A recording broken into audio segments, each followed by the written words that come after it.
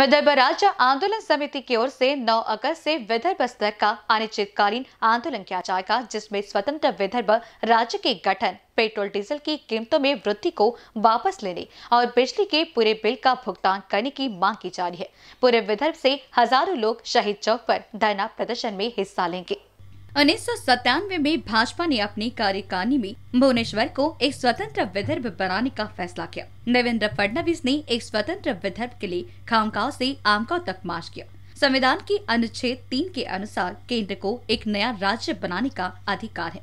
केंद्र में भाजपा की बहुमत वाली सरकार है, तब भाजपा सरकार ने विदर्भ न देकर विदर्भ के साथ अन्याय किया, जबकि छत्तीसगढ़, झारखंड और उत्तरांचल को अटल बिहारी ने अलग कर दिया था और अब मोदी सरकार के पास भी प्रचंड बहुमत है। आज भी नरेंद्र मोदी ठान ले तो एक दिन में विदर्भ को अलग किया जा सकता है। कैबिनेट ने फैसला किया। लोकसभा ने एक प्रस्ताव पारित किया कि राष्ट्रपति ने एक स्वतंत्र विदर्भ राज्य के लिए एक आदेश जारी किया और केवल महाराष्ट्र सरकार को सूचित किया कि एक विदर्भ राज्य का गठन किया जा सकता है। विदर्भ विरोधी उद्धव ठाकरे सरकार चाहे कितना भी विरोध करे, विदर्भ राज्य को एक दिन में अलग किया जा सकता है। क्योंकि राज्य सरकार को नए राज्य के गठन में हस्तक्षेप करने का कोई अधिकार नहीं है।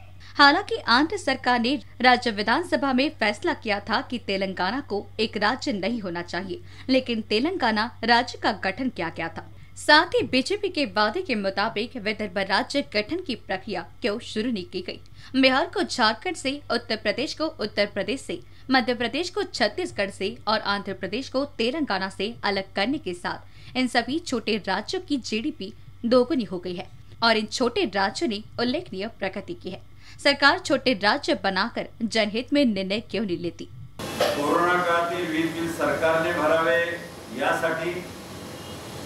तसेच पेट्रोल डिझेल आणि गॅसची दरवाढ त्वरित मागे घ्यावी यासाठी क्रांती दिवसापासून विदर्भस्तरीय बेमुदत या आंदोलनाची सुरुवात होत आहे.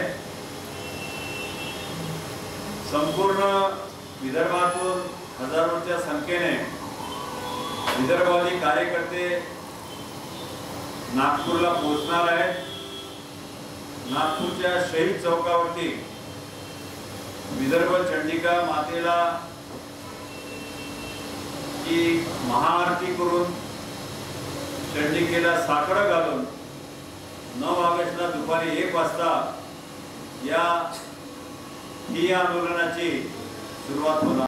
भाजपा केंद्र सरकार 9 अगस्त तक विदर्भ राज्य के गठन की घोषणा करे। नहीं तो विदर्भ राज्य आंदोलन समिति 9 अगस्त से 15 अगस्त तक नागपुर के शहीद चौक पर अनिश्चितकालीन धरना आंदोलन का इशारा विदर्भ राज्य आंदोलन समिति द्वारा दिया गया है। कैमरा पर्सन राजकुमार मोहर के साथ क्षितिजा देशमुख की रिपोर्ट।